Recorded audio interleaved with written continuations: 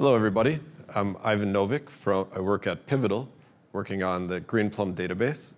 And tonight, we're going to be, we have a meetup tonight. It's the Greenplum database meetup every month here in San Francisco at Pivotal's office. And tonight, the topic is geospatial analytics, and geospatial analytics in particular, running with the Greenplum database at massive scale. So thanks, everybody, for joining. We're going to get going. So first of all, the geospatial analytics, when used in Greenplum database, leverage the PostGIS project. So PostGIS is a spatial database extender. It leverages the extensibility of the Postgres platform. And it's been around since 2001. Uh, we we see Paul Ramsey is a is a very active community member who's one of the co-founders. And it was created by Refractions Research back in 2001. Um, and what it does is it enables geospatial data types, geospatial functions, and indexes on geospatial data to run in the Postgres database. Um, there are other databases that have similar modules. So if you look, for example, at Oracle Database, they have geospatial adapters to convert their database into geospatial as well. And really, it's just because Postgres is so extensible, it was quite easy to to add this capability into, into Postgres-based systems. Now, this is, this is the website, postgis.net. And that's where you can see all the collateral from the project. Now, how does this tie into Greenplum? Greenplum is a massively parallel database based on Postgres. So if you see here in this architecture that there are multiple Postgres database instances that make up a Greenplum cluster. Here we see multiple segment hosts, and we can be running multiple Postgres on each host. So for example, you could be having 20 hosts, 50 hosts, 100 hosts, 200 hosts, 300 hosts, and on each host have two, four, or eight, or 12 different Postgres reaching up 1,000, 2,000 different Postgres in one cohesive cluster. And what this allows for is it allows us to scale Postgres to bigger data sets, to do cohesive analytics and querying on large data sets using the Postgres-based technology. Now, I did mention quote, quote, "Postgres instances" because they're not pure Postgres instances. They're modified for Greenplum in order to support this MPP and big data data warehousing use case. And so you'll see that there's a custom interconnect. So within a query plan, we've got custom interconnect nodes that can ship data to the other nodes. We've got an optimizer, which is MPP aware and can create a query plan that minimizes the cost, including data movement across the cluster. We've got a dispatcher that can dispatch queries out to all the nodes, and and a transaction manager, a global transaction manager, to to keep consistency across the entire cluster with any given transaction that somebody runs, begin, SQL, commit, et cetera. So by taking this big data Greenplum architecture and applying PostGIS on top of it, we can now open up the ability to use the the same valuable functions created for Postgres, but at scale. Now, what does a reference architecture look like? So in an environment where you're processing and dealing with a lot of geospatial data, there are different use cases. And and this is a reference architecture for, for one of the users that I'm familiar with, who's heavily leveraging Greenplum for geospatial data. So what they have in in this architecture is both. They have Greenplum for the geospatial data warehouse, and then they have native Postgres for their geospatial database. Now, the native Postgres is what's useful for quick lookups. So you want to have an interactive application where you're doing rapid, let's say, displaying of points up on a map in a screen in front of a user. And you want to just get the data out quick and display it based on on directed queries. And so that's where the Postgres comes in. And then the Greenplum comes in when you want to store bigger sets of data and, and do multi-row processing and analytics on that data. What you can then do if you want to have an open source architecture is you can leverage GeoServer. So GeoServer is part of the open source, open source Geospatial Foundation, and it's a middle tier. So these are the database tier, right? We're creating geospatial databases by extending the data types and the functions in the database. But GeoServer is a middle, is a middle um, tier component, which is a web server based component to allow for um, talking to the database, organizing the data from the database, displaying it back to UIs and browsers in order for an end user to manipulate the data. So you've got your, your user, your analyst there, they're talking to GeoServer, and GeoServer is redirecting the queries both to Postgres and to Greenplum, depending on what is the nature of the query and the routing they've set up in the GeoServer. So what are some example data sets and use cases where you've got large amounts of geospatial data and it's not sufficient just to have one host to store this data, where you want to do storing lots of information and be able to process and analyze it. So I wanted to open up your mind to the art of the possible of geospatial and how it's impactful to the world and how it, it's impactful to industry and to government in terms of their day-to-day work. So for example, taxis. You want to track where are all the taxis, you know, what's their motion, where, you know, uh, where are the people, where are the taxis, what's happening. Airplanes, we want to track the movement of airplanes. Shoppers in a mall, so we actually have users that, um, that manage airports. And airports, you can think of it in addition to dealing with airplanes. You know, when they told, told me that they're an airport and they're using geospatial analytics, I assumed they were tracking the planes. But it turns out they're actually tracking the shoppers because the airport makes a lot of money on the renting the space and on getting people to buy things. And so what they do is they have little sensors inside the airport to track people's movement in order to optimize their paths through the airport and to create the right shopping experience and to maximize their, their income there. Um, cell phones, so cell phones are, you know, you know cell phones are sending out signals and that it's producing geolocation data. And that data can be used for good or for bad purposes, but you know, at a very basic level, that a cell phone provider wants to optimize the coverage they're giving. And they're, they're investing in towers. How do they know where to put the towers? What other better source of data is there than where people are going with their phones? Looking at that long history of data, we can see the, the path of people around the planet where, and where the cell phone coverage is most needed. Um, customers versus retail outlet locations. So if you're a bank and you're managing a, a, a portfolio of thousands of branches. You could be, look, this is not a real fast moving data, but you've got population data, customer data with their addresses. You want to match that up with the branches and try and do some analytics to figure out where you should be placing these branches in order to maximize the, the customers you have being able to easily get to the branch. In military logistics, with you know, use your imagination, there's clearly a use case where you want to track people and things. Um, parcel delivery. So if you're a, you know, a uh, in the United States, we've got UPS, FedEx, et cetera. In every country, lots of countries have different parcel delivery companies. And these parcel delivery companies really want to, are in an optimization game of logistics. And so tracking where the drivers are, where the packages are, this is key to their success. Oil and gas discovery and logistics, again, you've got physical assets out there, you've got heavy equipment, You've got um, actual oil underneath the earth. And when we say geospatial, geospatial, these, these modules like PostGIS can support three-dimensional. It's not just um, it's not just east and west, it's also up and down. Insurance claims, tracking where claims are happening, agricultural assets. And so these are all industrial and government use cases that impact people, everybody. And so being able to enable your database with these geospatial capabilities allows you to take advantage of it. Now, when does it really become big data?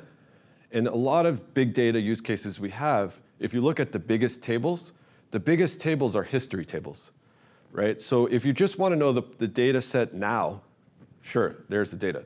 But what if you want to know that the data set of where everything was, let's say here we've got an example a ride sharing application. I won't use any names in particular, but let's say you have a ride sharing application. You've got 500,000 cars, and you've got millions of people who, are, who have your app. And you want to be maximizing these logistics, right? You want to be tracking the locations and maximizing logistics, analyzing this data. Now, you can track where is everybody now, and if you did that, every car, you'd have 500,000 cars and there's a location, so that's 500,000 rows in the database. But what if you want to know where every car was every hour for the last year? Now your 500,000 row database became 4 billion rows. And 4 billion rows, that's where you really need an MPP system to scale out and store this data and start to analyze it. So it's really the history data, and when you're doing historical time slices, you know, what was it then in these intervals, that's when it really becomes huge, and you want to create a geospatial warehouse. Now, the other key point is with Greenplum, we really talk about combining data into multiple types and formats of data to create a consolidated data warehouse view of the data. We're, we're really talk, hearing from users the idea of getting a new data platform for each type of data is, is aggravating. It's because you need another vendor, you need another set of experts in-house who know this particular technology. So let's say, for example, you want to start using Graph. And so in order to start using Graph, you need to get a new database technology, which is a GraphDB. You want to do text, you got to get a new database. You got to learn how to back it up, how to restore it, how to replicate it, how to monitor it, all the things you do with any database. So one of the main value props here in Greenplum is to mix geospatial data with other data too and other algorithms, right? So that you can create a combined, robust data, data warehouse, right? So we can take geospatial data, we can take text data, we can take graph data, we can do classifications, clustering, and do normal SQL, and really combine and join that data and explore it interactively. And by doing that, you've got not just geospatial, but the, the full data set. So for example, back to our ride sharing application, in this case, we're going to store the history of the driver's location. We're going to store the history of the app user's location, meaning every hour, let's say. Maybe it's interesting to know every hour where was the location of this person or this car, right? So that, and then over a stretch of time, let's say a year, in order to do a good analysis. You want to also store the history of their payments. Now, this has nothing to do with geospatial data, but it's another data set, the payments data, maybe in another table, and you want to be able to join that and, and do queries that combine geospatial with other things, right? So you might also have user preferences. You could have, sometimes if you, if you didn't like your ride, you put in a comment. Now, how do you process that comment and figure out what was the natural language meaning of that comment? So we want to get a text column and do text analytics combined with the geoanalytics and then with the, the ratings for the ride. So it's really creating this holistic picture. And when you create this holistic picture with a long history of data, you get a large data set, and you need a database that can scale and handle all of this, all this type of data and all these type of queries. So that's kind of the that's the business context and the user context. Now we're going to go into PostGIS itself, because PostGIS is the delivery vehicle whereby we enable geospatial analytics in Greenplum. So within PostGIS, there's four major categories I want to call out of functionality. Number one is vector data.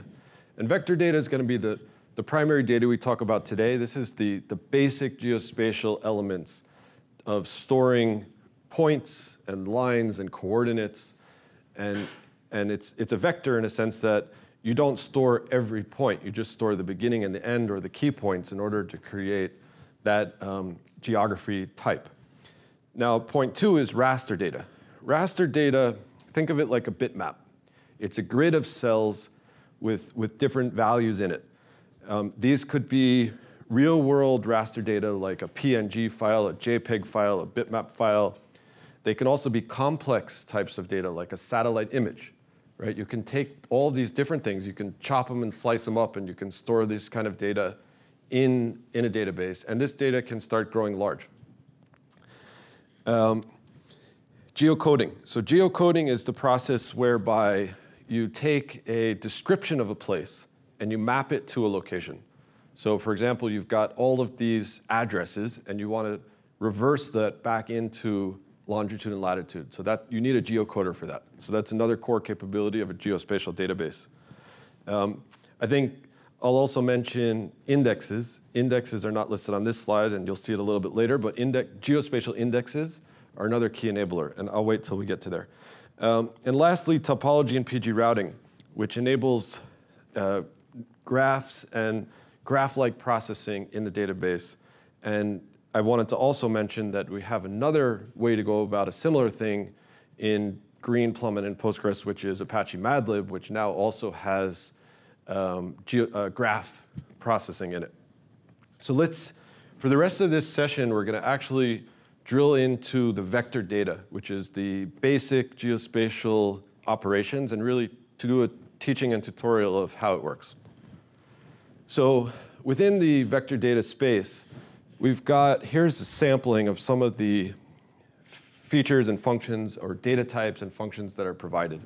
So the data types in vector processing include points, lines, um, polygons, which are shapes, and then as well collections of these things. So you could have a, a multi-polygon, for example. Some, some country might consist of a multi-polygon. It's not a just one area. It could be the United States, for example, right? You've got Hawaii is out there, Alaska's out there. So it's not a strict polygon, it's a multi-polygon. Within, those are data types. Now within the functions, we've got things such as um, getting the length, finding the perimeter,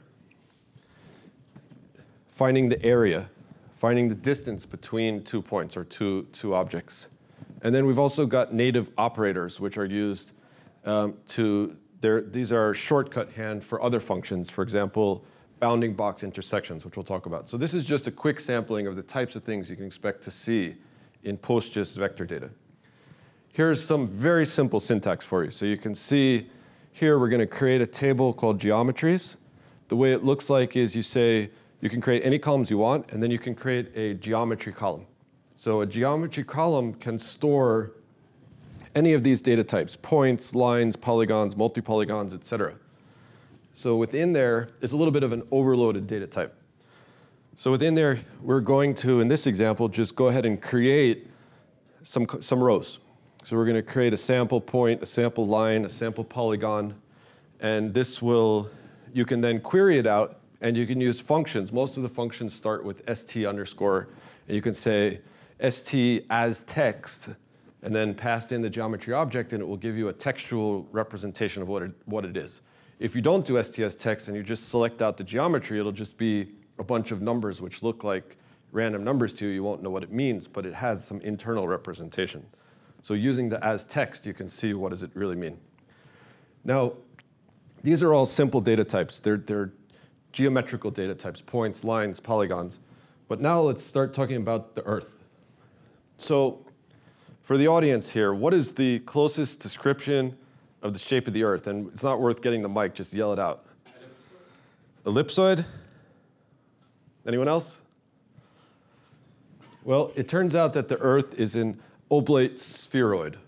So an oblate spheroid is the actual shape of the Earth. And so if you want to calculate the distance from New York to Tokyo, you can't just do it by a line. You need to find out the path over an oblate spheroid from here to there right? So there is some complex math to calculate a distance from New York to Tokyo. Um, and in order to support these types of operations, PostGIS has two core differentiated data types. And the first one that came out was geometry. But after that, I think geography was the second type that came out to provide a more of a wrapper to make it easier for you to work with this type of data. So within the geometry data types, these are what we were showing before. These are not necessarily connected to any place on Earth. They're just geometry, right? Points and lines and, and polygons. And so in order to use these, you need to map it to a coordinate system so that real world um, metrics can be applied to it. So PostGIS comes with a, a coordinate mapping system, and I'm not going to actually go into that today because I find that it's, it's something better to learn when you need to later than up front. Um, but it's a key point to all this is that there, when you have any data point in a geometry, it's tied to a coordinate system. If you don't know the coordinate system, the data won't make any sense. Now these geometry data types are the, the highest performance. They're good compared to geography. Geography is slower, but the good thing about geography is you don't have to figure out the coordinate system. Once you get a successful geography object created, it knows eternally where it lives on the Earth. And you can, you can do operations across the whole globe without any inaccuracies because they're the most sophisticated calculations in that code. When you try to use geometry and you want to, for example, get the distance from New York to Tokyo, it won't actually work. It won't actually work accurately because there is no good coordinate system that can use geometry across that big of a spheroid to get an accurate number. So for you have to do things like do different types of projections and or use the geography data types. So the bottom line is, is that these are the fat geometry are the, the, the simpler base types which are the lower level access. Think of it like assembly code to C code or something like that. And, and you use these for performance and to get the most features. And geography are the, the kind of more wrapper functions that are easier to use and not make mistakes with the, with, with the geography calculations. Now, another key concept here in geospatial databases is joins, relationships and joins. So in a normal database query, if you have two tables and you want to join them, you're looking for some matching key of equality, right? So you're saying, I've got a table of customers and I've got a table of orders. Let's join them so that I can get all the rows in the orders table that match each customer, right? Based on, let's say, customer ID. And that's an equality join. But in geospatial, we're doing other types of joins. For example, here, we can do intersect joins or overlaps joins or containment joins. So we're looking for topology, uh, not topologies, but geographies and shapes that have these relationships. For example, shapes that overlap, intersect, or, um, or, or touch each other. So in this example, what we have is we have a data set here of New York City subway stations, New York City neighborhoods, and we're doing a containment join on contains and looking for do these points exist inside that polygon, right? So that's a contain, that's a spatial join, and that's one of the really powerful features of a geospatial database. Another key item of geospatial database is spatial indexes. So indexes in general in the database make your queries go faster. But they're not quite traditional indexes in a spatial database in the sense that it's telling you exactly where to go to find an item. In, in geospatial indexes, they're bounding boxes. So when you create a geospatial index, each object, whether here you've got a line or a star, we're creating a box around that object which bounds it. And by bounding it, we're creating it something that's easier to calculate, quicker. So we can more easily do relationships like containment and overlapping because you can, it can be done quicker. And so by creating these geospatial bounding box indexes, what happens is that the engine itself, when you do these, these relationships, will will first eliminate all the rows that are clearly not related because their bounding boxes don't touch. Then it will do the more expensive calculation to confirm whether the actual objects are related in the requested way. And you'll be able to see it when you do an explain query. You can see, oh, it's using an index. Okay, so let's actually get our hands a little dirty and show, show some data and some queries and, and, and walk through some examples. So in order to get some good examples, thankfully, our, one of our partner companies, Boundless, who's an open source geospatial company dedicated really on, I would say, well, the whole stack of, of geospatial, um, but I would say closer to the user, closer to the middle tier and to the front end and to working with the users, as opposed to you know, Greenplum, which is the back end database that enables this. So we work together on a lot of projects. And they've created a great tutorial. You can check it out, workshops, boundlessgeo.com, post, PostGIS intro. And we're going to use the data set that they created there for, this, for these examples. And in this example, they have five tables. New York City streets, New York City subway stations, neighborhoods, homicide records, and census data. So these gives us some data set we can work with to see how to use the system. And this is where I'm going to really rely on the audience crowd to help me because what I'm going to attempt to do is a live demo, live generation of SQLs. So I'm going to be testing myself and the audience here to help me write SQL code for geospatial on the fly, live streaming, super high pressure. Okay. So exercise number one is find the three largest, and I'm to transfer to sitting. Find the three largest New York City neighborhoods by area and the three smallest neighborhoods by area.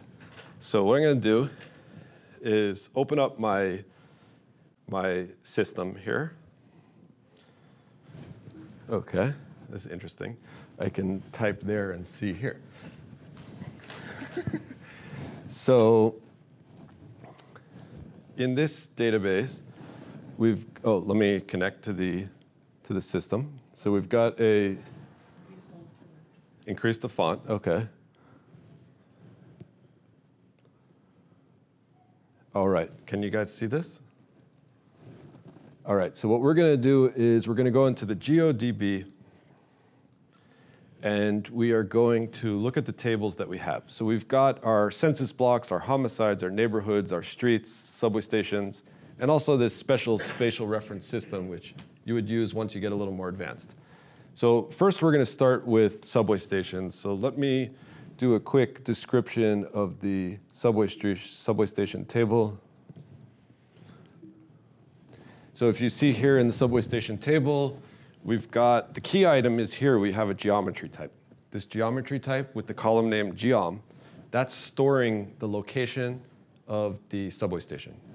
This is all extra information about the subway station, which is metadata around it. And so what was the problem we were trying to solve here? We were trying to find the three largest um, New York City neighborhoods by area. All right, so in order to do that, let's take a look at the, how about we do a function called area, right?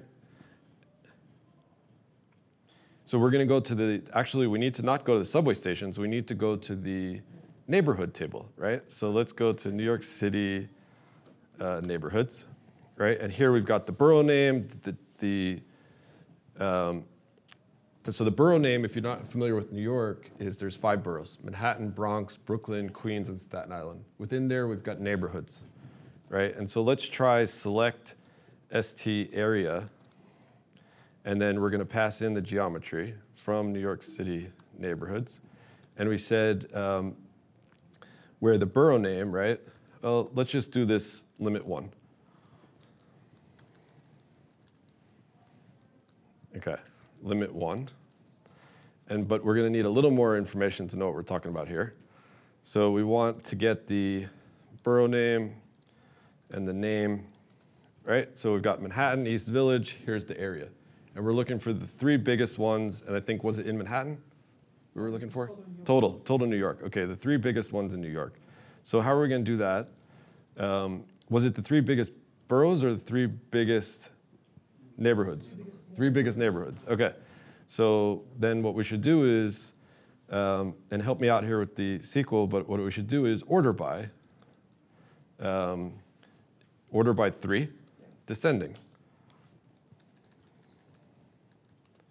Right? So the three biggest um, neighborhoods we can see here, they're in Queens and Brooklyn.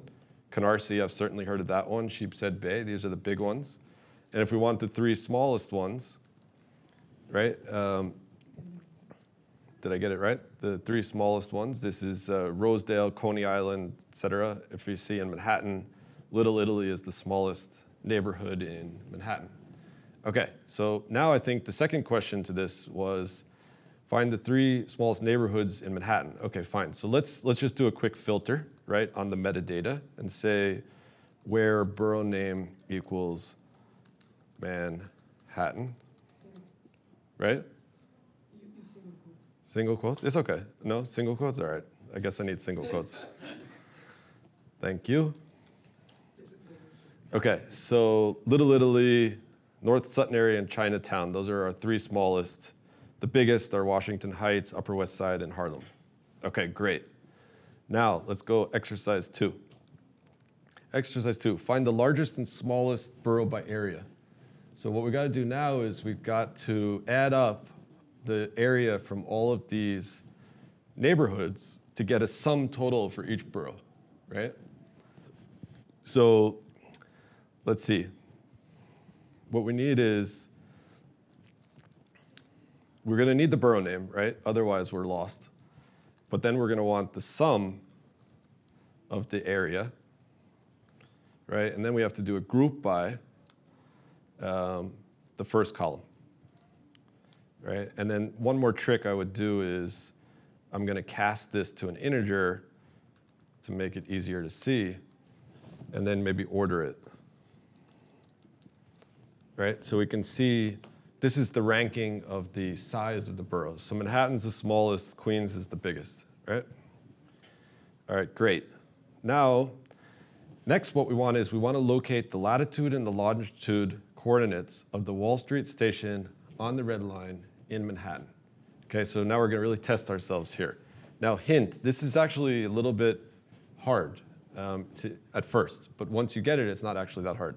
But the hint is what we've done is we've created we've got this geospatial set of subway stations, but what is the, the object is not a geography. We have objects are geometries. And geometries don't internally know, they don't internally represent it. You can modify the coordinate system.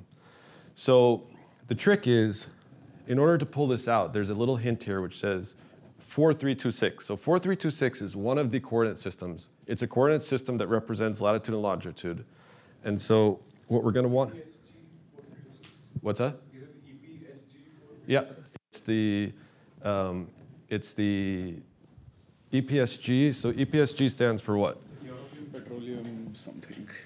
Right. So so there's a set of coordinate systems, and you can search it and, and whatnot. But I am just want to Yep. save time here. Yep. Four three two six. Now, um, how are we going to find out? And this is a little bit of a of a hacking exercise here. So what I wanted to do is say, yeah, you can go to the documentation, but let's have some fun, right? You know, we've got a table here in the catalog called um, called the PG proc, right? So let's select um, star from PG proc limit one, right? And, and you can see here that the proname, the proname is the name of the function, okay? And so instead of limiting one, let's say where proname is like st blah, right? Um, oops, I think they're lowercase in this thing. Okay. So st blah, these functions are, um, a lot of these are the geospatial functions, st blah. We can also go to the documentation, but you know, what fun is reading documentation? Um, so what we want to do is we're going to want latitude and longitude. So let's let's try and find something that is related to that. So here's some functions, st something, and in fact, I'm going to uh, try it this way. And anything here look interesting? I think st lat long text is interesting. Like I'd like to call that function. So if I have a geometry type and I want to find out its its um, position, right? I'm going to use this one. So let's. I'm just taking you through this here all the way from from scratch. So let's backtrack. We've got first. It said the Wall Street station on the red line. So let's find that that person or that thing. So the subway stations, right? New York City subway. Okay, so we want to get select long name from New York City subway stations where name is like wall, maybe? So, and there's the 2 3 line and the 4 5, right? 2 3 is the red, 4 5 is the green line, if you've ever been there. Um, so, what we want is the, the other one, right? So, let's, let's throw in here the color. The color, right? So, let's make it easier for ourselves. And color equals the red line. Okay. Now, let's get out the geometry. so there's our geometry. Now what we want is the latitude and longitude. And we had this, this function, right? Um, the function was st as text, right? So let's, instead of getting the geometry, let's call the st Latin and log as text, and it says it's 2567. So let's go to the source of that information, right? Which is Google Maps, and find the Wall Street, New York City subway. Okay, there we go. Here's the 2-3 line. And if we look here, what's here? It's 40 and negative 74. 40 and negative 74. Okay, that doesn't match this at all, right? That's because it's nonsensical. We haven't picked the right coordinate system to make any sense of this data. So what we need to do is we need to take our hint and convert this to coordinate system 4326 before we call this thing. This thing. Now to convert to another coordinate system, a geometry, we have to call ST transform, I think, 4326. And now it's 4074, right? Which, um, if you see here, it matches the 4074. I'm going to assume we got it right with the positives and negatives and the norths and the wests. It'll take you a while to figure out which ways those go. But it's the same numbers, 40 and 74, right? So we're on the right track. Um, the other thing we could try is to, instead of this one, let's try, let's get back this query and just for laughs, let's create a geography out of the geometry.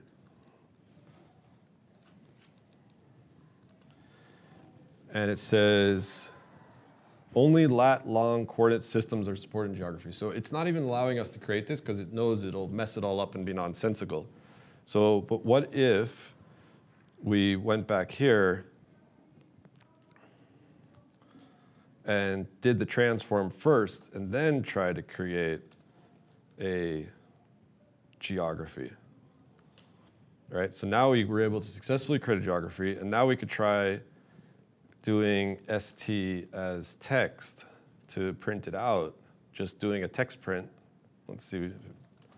And that gives us 40 and negative 74, which was the same as our as our numbers here, right? In fact, it's actually the pluses and minuses match 40 and negative 74 matches the Google Maps, right? So you can successfully turn this into a, into a geography object from a geometry and then print it out.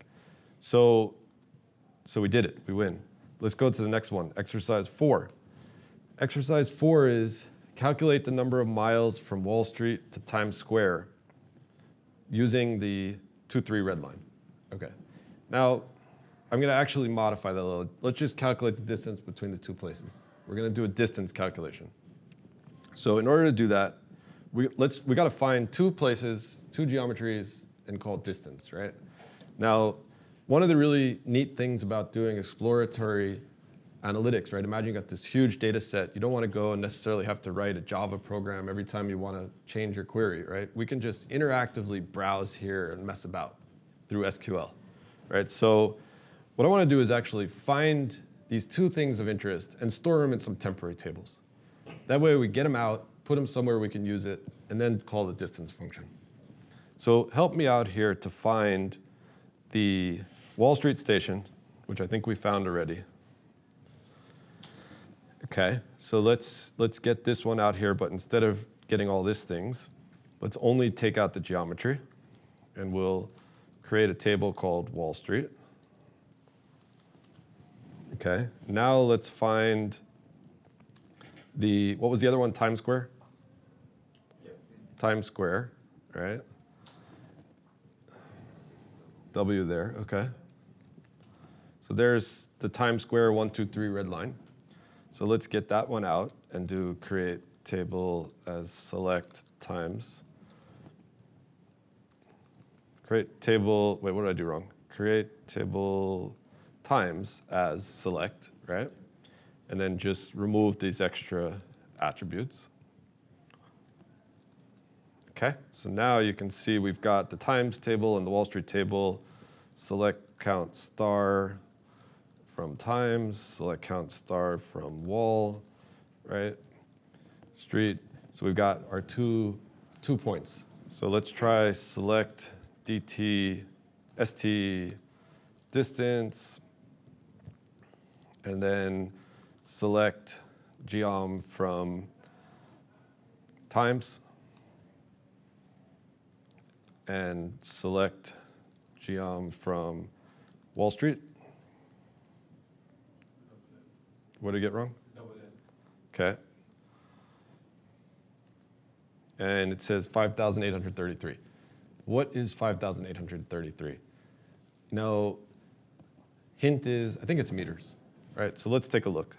So we want to go from Wall Street to Times Square, roughly. Okay? So and let's walk it. It's 3.8 miles, give or take. So how far is 3.8 miles? Again, Google is it's too good. 3.8 miles in meters. So 3.8 miles in meters is 6,100. So that's the walking distance. Our data was um, was I think just over the air, right? We just said the distance between these two points. So okay, we're in the right ballpark. We got the right calculation here. Um, so that's how you do it. So we, we stored out this geometry, we stored out that geometry, we did the distances, right? Okay, there's only six or seven of these things, so bear with me here. Uh, we did number four. Number five. Okay, here we go. Let's do some mass operations. And you, you got to assume that this, this is running right now on a VM on the MacBook, right? MacBook Air. If we had a real data set, it would be running on a cluster of 100 servers with petabytes of data and doing massively parallel processing. But for the example, it's on my MacBook. Create a new table with the number of miles between all subway stations and the Wall Street station. So we want to take that same station, but then recalculate every other station and how far it is in miles from there. So we're going to get this new data set of how far are you from here? And you think about the, the bank branch locations where the, the bank wants to think, okay, how far is all these other rows from this row, and let's optimize and maximize, right? So, so let's try and create this new table. So we've got the, the Wall Street station, right? And I think this is going to be a fancy thing called, is this a correlated query? Anybody? So we want to get, so let's see, we're going to say, let's describe the subway stations again. The subway stations have these attributes. So let's get the long name, the color, and the borough of every station. Okay? And now all we want to do is get the distance from this station to the Wall Street station, right? So how are we going to do that? We're going to have to call st distance, right? So st distance, and we want to get it. I'm going to create an alias to make this easier. This is going to be as NSS. Okay, so this is the New York subway station table alias. I'm just aliasing the table name so I can make a quick reference to it.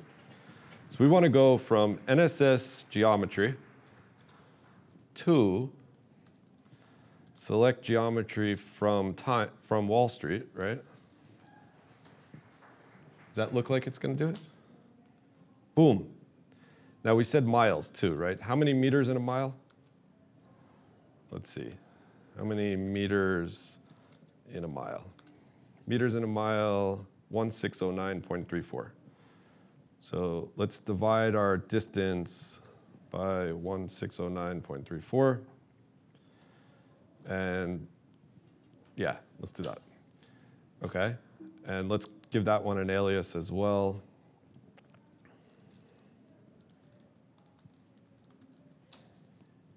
Whoops. Space. So we got the distance from Wall Street, and let's order it. Um, order by distance from wall. ascending. Okay, so the Wall Street station itself is zero miles. The Broad Street station's 0.07 miles. The other Wall Street station, the 4-5, that's a little bit over to the west, that's on Broadway, I think, so that's 0.14. And then you've got all these Manhattan stations all downtown, right? Now, if we keep going out, here's 34th Street, it's three miles, 45th Street, 49th Street, uh, 57th Street, 72nd Street, 86th Street, right? Still, still in Manhattan, we're up to 137, 161st, Yankee Stadium, JFK Terminal. Don't ever take the train to JFK, take a cab. It's, it's all hype. Okay, so there you go. And Staten Island is the furthest place if you want to. Don't, don't live in Staten Island if you want to work on Wall Street. You end up taking a ferry. Okay, so we did, uh, we create, oh, but we didn't create a new table. So, you know, this is the magic of interactive exploration. We're just going to do create table as create table distance from Wall Street as, and then we get our new table right? So we can say select star from distance from Wall Street, and boom, there's our data, right? Cool. Okay, let's do exercise number, actually last exercise, number six. So bear with me through the last one. Find the Manhattan neighborhood with the most and the least people. So what we're gonna do here is we're gonna do some joins, spatial joins, right? We've got the neighborhood table and we got a census table. How are we going to mosh that together to get the people in the neighborhoods, right? Hint, don't cheat. Okay, there's actually, I noticed there's actually a neighborhood field in the population table, so you could do this with one table. But we're going to join. So what have we got? Let's, we, we've seen the neighborhood table a little bit, but what's the population table? So if you see here, the census table, we've got let's see, a block ID. This is a census block. We've got the population total. We've got population by, by race. We've got the borough name. And then we've got the geometry. So the geometry, what is this geometry? We said it's overloaded, right? It could be a line, it could be a string, right? So if we say select ST as text, geom from New York City census blocks limit one, it's a multi-polygon, right? So it's a census block, multi-polygon area. So how are we going to find out which census blocks are in which neighborhoods, right? Let's use, there's a number of functions, but as a hint here, let's go with intersect. We could also go with contains. Actually, let's try intersect and contains and see what's the difference. I have no idea, I've never done it before. Again, it's on the fly. So we got to do a join spatial join. So let's say the other table was the New York City neighborhoods. So we want to do select borough, borough name. Actually, I'm going to have an alias here again. New York City neighborhood dot borough name. New York City neighborhood dot name from New York City neighborhoods um, as an N. Okay, great. Now, we want to join this with census block, right? So what is in the census block again? I already forgot. Census block, we want the block, we want the geometry, right? We want to find out when that geometry, let's get the top population total, census block population total. And from New York City neighborhoods, join on ST intersects. Um, oh, okay. Join on. Join table. Yeah, good. Join table name. So join the New York City census blocks alias census blocks on, right? ST intersects. And now we want the geom and the geom. Does that look right? Right? It's the three columns from two of the tables joining on the intersection between the geometry in both columns? Maybe. Okay. So this is the, for example, I don't know, let me get Manhattan so it'll be easier since I'm familiar with Manhattan, where borough name equals Manhattan. What did we do wrong here? Borough name is not right? Oh, okay. Where NN. Well, wait. Borough name should come from the neighborhood, right? Okay. So it's telling me this these different census. Let's order it by two. By the second column. So within Battery Park, there's these different census blocks that have the different number of people, right? Within Carnegie Hill, et cetera. So these are, we're gonna test this out. So it looks like this added it up. Now let's do a group by. We want to get the sum. What am I trying to do here again? Total population per neighborhood, right? So we need to sum up the population setting, right? Sum of the population and group by these two. Does that look right? Yes? Okay.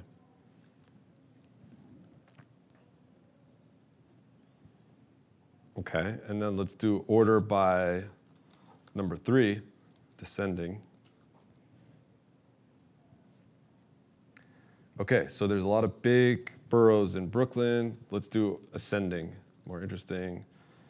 Um, so some small, interesting here, Coney Island. Um, you know what? I'm going to again filter it to only Manhattan, so that so that we can get a subset of the data, where nn dot borough name equals Manhattan. Okay, so here's our boroughs and our populations. So let's go to our, now remember, we did intersect, right? Now, I'm not 100% sure that intersect is the right way to check this because there could be things that overlap, right? And intersects, then the census block might intersect more than one place. So I'm thinking, for example, that our figure here, let's say Tribeca, shows 20,000 people. So if I go to Google and say population of Tribeca in New York City, it says there's 10,000 people, right? It's this little section here, and we got 20,000. I wonder what would happen if we did contains.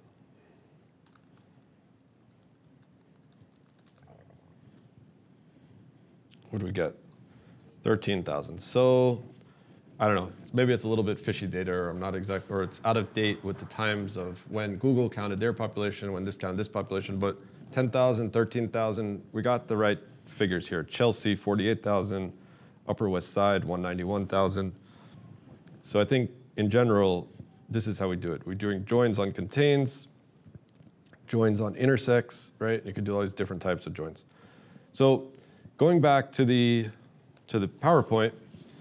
Okay, so let's get back to Greenplum. So with Greenplum, Greenplum 4.3 supports all these vector types. We've supported this for a while. You can do this store, create a huge data warehouse of coordinates, geographies, geometries, do contains, do intersects, do um, spatial joins, indexes, create and, and really analyze ge geospatial data.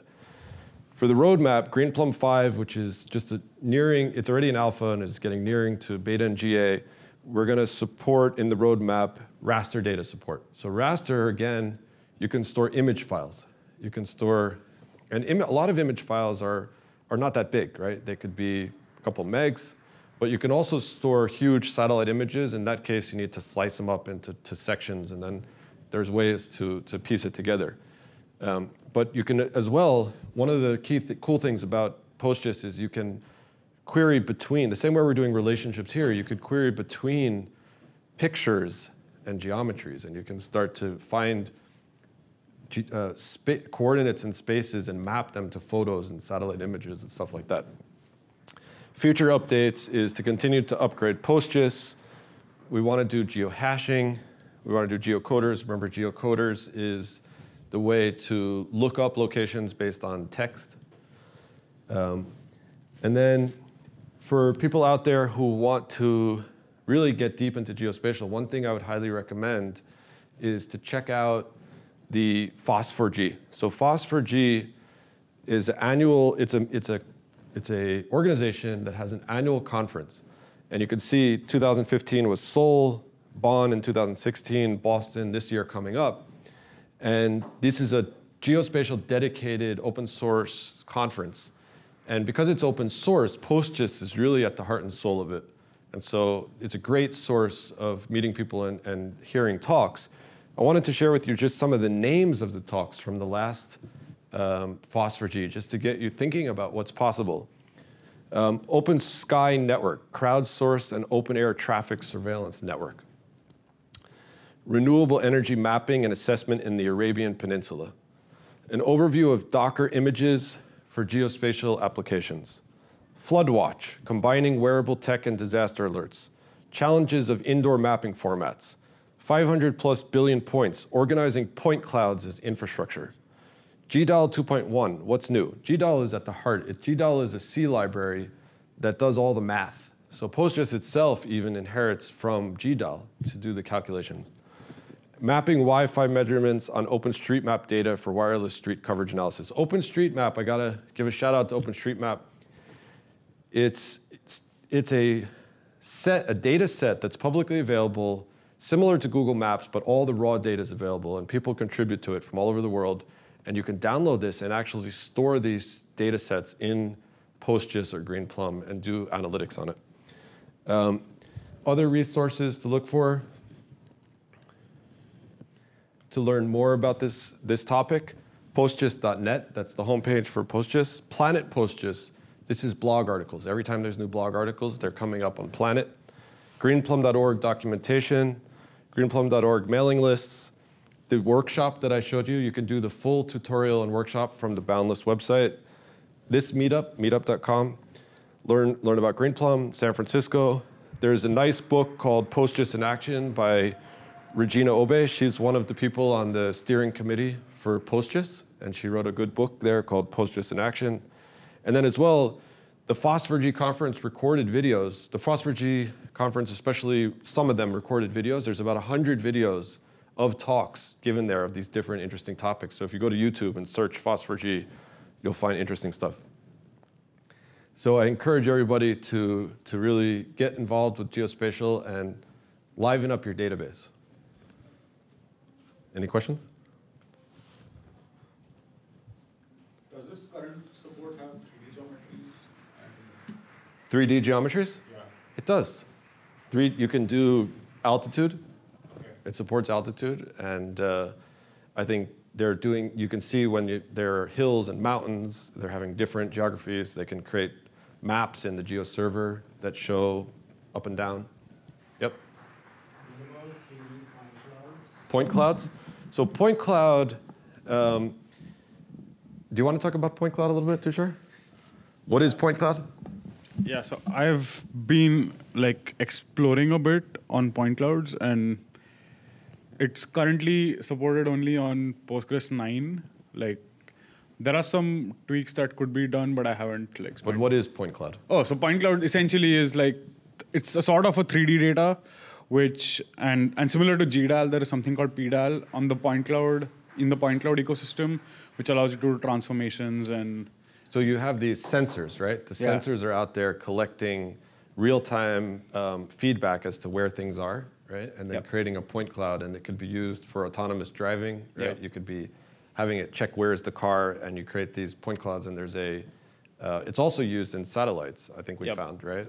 There are a lot of aerial, like there are some vendors who also do like aerial imagery. So for Mm-hmm. defense applications, they have like very powerful, like lidars, which basically f- are like you have helicopters flying over areas, and they basically you can get a lot of detailed information about the terrain. And Right, and, and, and actually, I got a tip from somebody who works with LiDAR data who said, LiDAR data is huge, right? LiDAR data is a new source of data relatively.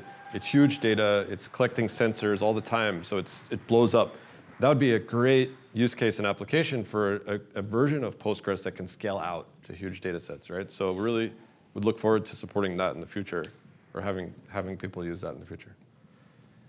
Okay, so thanks everybody.